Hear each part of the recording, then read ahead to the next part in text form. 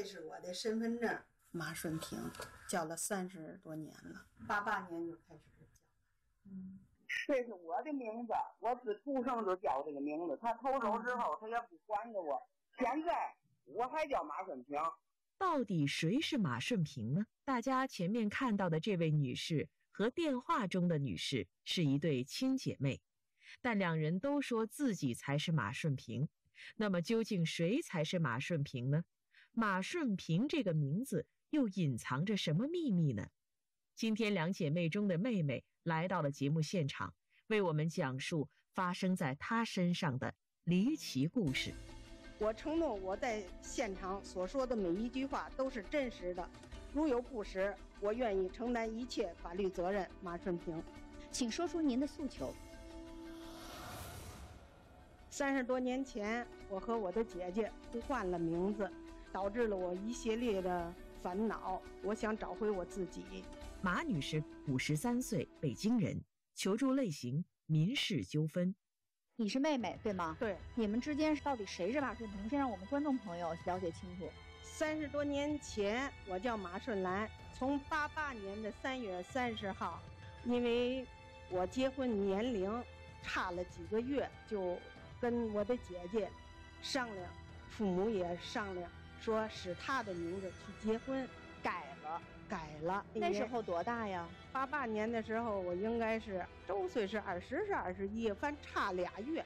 当时是跟姐姐这么商量的这事儿是吗？商量了，并且还让他去我的那个南方那头去证明一下，因为我们俩互换的名字。当时介绍的时候我叫顺兰，等着说弄户口的时候又叫顺平了，人家也不放心，说还是让你姐姐去一趟，证明一下。你们俩互换名字这个事儿，她愿意不愿意？专门说明了一下这个情况。对我姐姐当时就去了，她跟人家男方还有媒人也说愿意，说让我用她这个名字，然后并且呢，那当时给了她三千块钱。针对马女士的说法，记者前期也联系到了姐姐，对此她有不一样的说法。呃，我都不知道，这不知情的情况下，我在外边打工嘞。父母年老了，也体弱多病。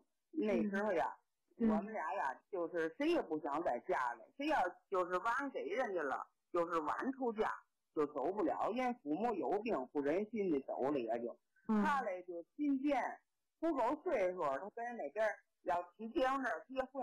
我也没在家，我在外边打工嘞。他就一个人，他就跑我户口，连名字都给抽走了。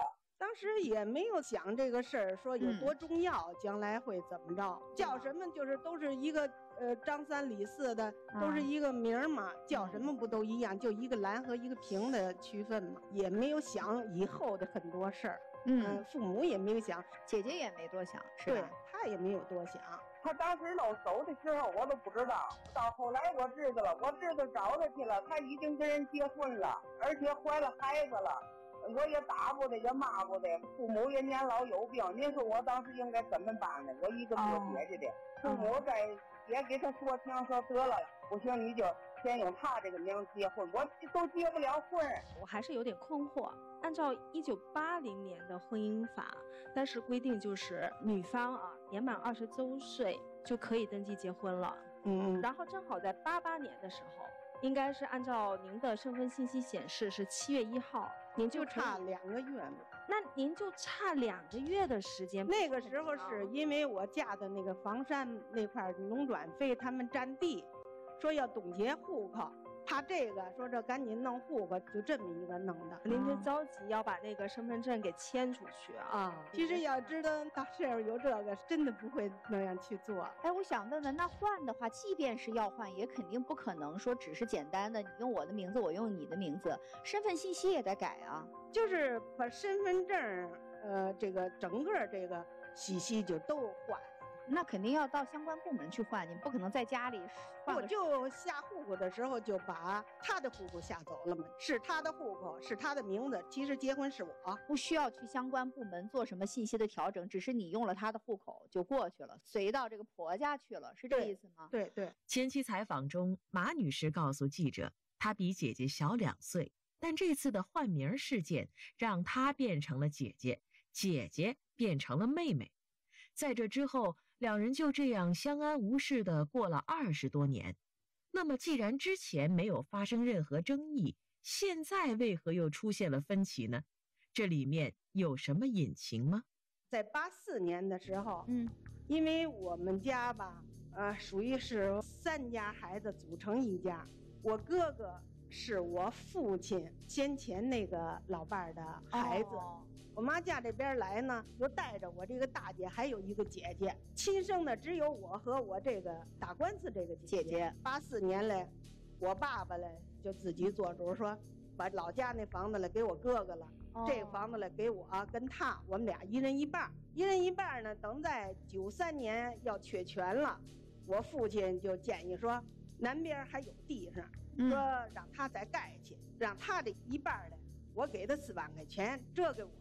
这房子哦，也就是本来是让你和姐姐一人一半儿，但是呢，另外还有地，说可以让姐姐到那边去盖，你给姐姐补偿，是这意思吗？对对，当时姐姐同意吗？同意啊，那会儿四万块钱的还特别管用呢。对，那时候还讲万元户呢吧？所以你确实是当时就把钱给了姐姐了，是吧？对，姐姐是另外去找地方盖了吗？